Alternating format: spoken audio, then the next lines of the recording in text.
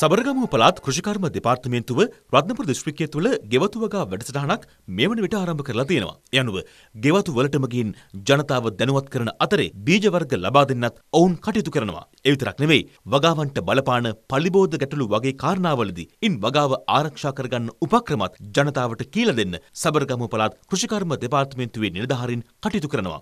තමන්ගේ රාජකාරිය නිවැරදිව අඳුනගෙන මේ විදිහට ගෙවතු වලටම ගින් ඒ රාජකාරිය හරියටම ඉටු කරන නිලධාරීන්ව අපි අගය කළ යුතුමයි. මේ අතරේ පැල්මඩුල්ල ප්‍රදේශයේ ඉතාම සාර්ථකව පවත්වාගෙන යන ගෙවත්තක් අපිට මුණ ගැහුණා. වෙහෙස මහන්සියෙන් මේ වගාව කරගෙන යන්නේ චාන්දනී දසනායක මහත්මිය. කාබනික පොහොර භාවිත කරමින් පර්චස් 30ක භූමි ප්‍රමාණයක ඇය බොහොම අපූර්වට වගා කටයුතු කරගෙන යනවා. ඔබත් තවමත් පුංචිට හරි වගාවක් ආරම්භ නොකරපු කෙනෙක් නම් අදම පටන් ගත්තොත් මේ වගේ සාර්ථක වගාවක් තවදුරටත් ඔබට හීනයක් වෙන්නේ නැහැ.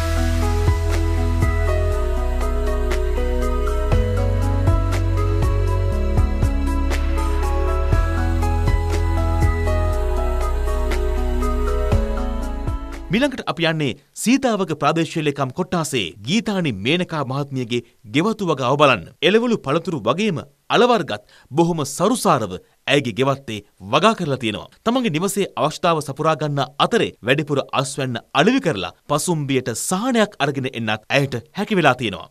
මේ අතර යලකන්නේ වගා කළ බිත්තර වී කිලෝවක් රුපියල් එකසිය පණහකට මිලදී ගන්න කෘෂිකර්ම දෙපාර්තමේන්තුව සූදානම් වෙනවා. බිත්තර වී කිලෝවක් වෙනුවෙන් කෘෂිකර්ම දෙපාර්තමේන්තුව දැනට නියම කර ඇත්තේ රුපියල් එකසිය හතලියක මිලක්. ගොවි ජනතාවට එය සාධාරණ මිලක් නොවන බැවින් එම මිල එකසිය පණක් දක්වා ඉහළ නන්වන ලෙසටයි උපදෙස් ලැබී ඇත්තේ. ගුණාත්මක බවින් ඉහළ බිත්තර වී සකසා ගැනීම අවශ්‍ය බැවින් කෘෂිකර්ම දෙපාර්තමේන්තුවේ නිලධාරීන් යොදවා බිත්තර වී අස්වනු පරීක්ෂා කිරීමටත් කටයුතු කරනවා.